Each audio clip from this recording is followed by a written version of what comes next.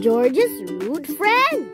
George was a polite boy, but his friends were rude. One day, George and his friends were going to a school. A man asked them for directions to their school.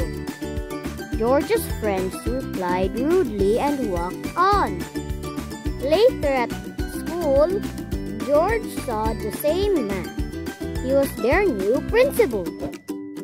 He talked to all the students and said, I wish our children will always be mannered and never be rude. George stood shamefaced, though he was not rude. He had not stopped his friend from being rude. He had not helped the man with the directions. George apologized to the new principal and tried to teach his friends manners.